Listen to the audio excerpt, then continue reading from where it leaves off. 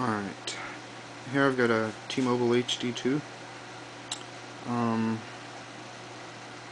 it's just running Windows Mobile 6.5 with HTC Sense right now, it's all stock. But I'm going to run uh, Ubuntu on it, which is Linux.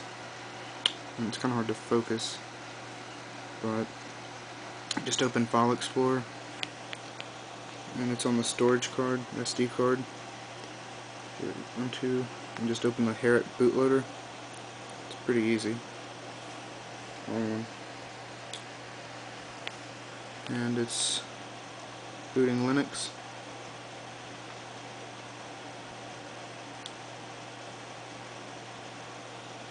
See, and then it goes to landscape mode.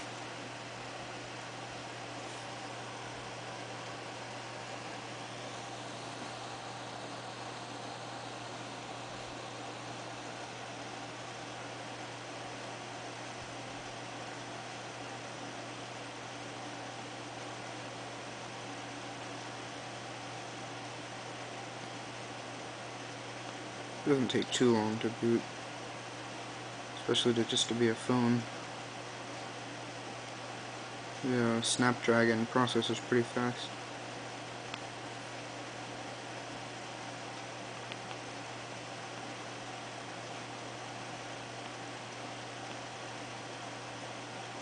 This is Ubuntu um, for HD2. It's version 0.2.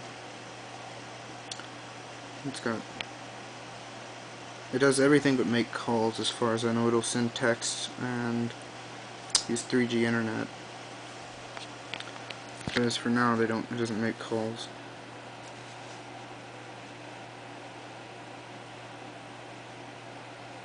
Looks pretty neat. It's got an on-screen keyboard. So you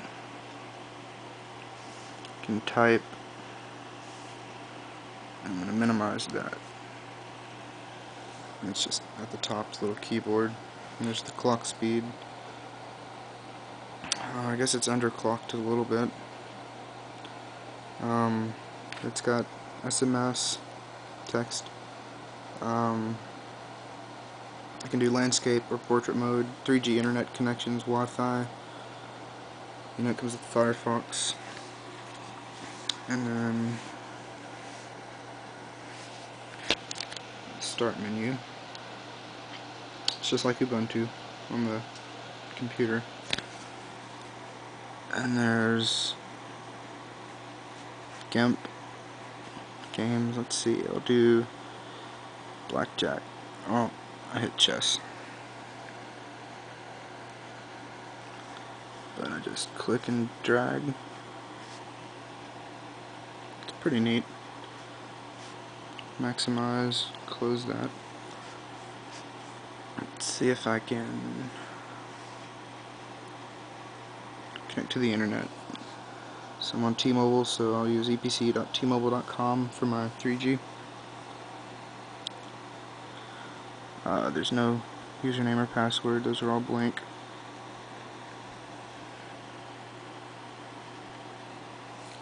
The top it's got the signal. Which I may not have one in my room. It's clocked up a little bit. 3G's on. So now I should have Firefox to work. Starting Firefox.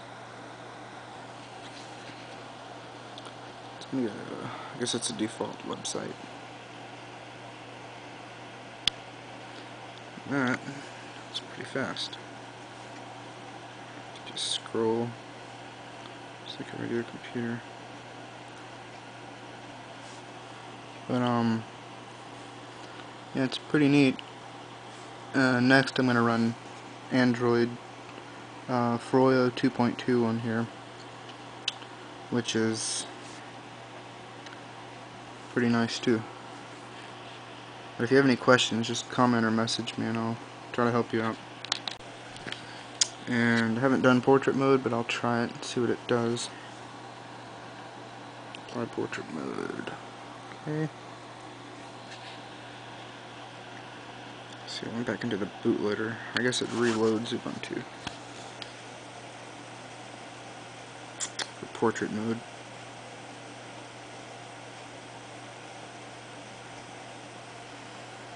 Pretty nice. It's can't really make calls, so there's not too much of a point in it yet, except to just play around, but it's still pretty neat. Not many phones can run Ubuntu.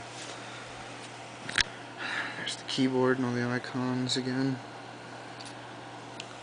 And some of them are overlapping. And there's also uh, a key map to show you what buttons on your phone actually do what. See the volume is left and right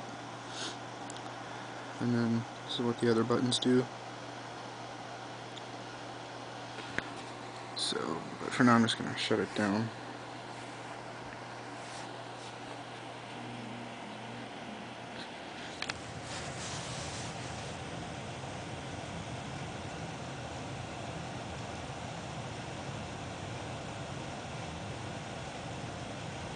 Then when I turn my phone back on, it'll just boot back into Windows.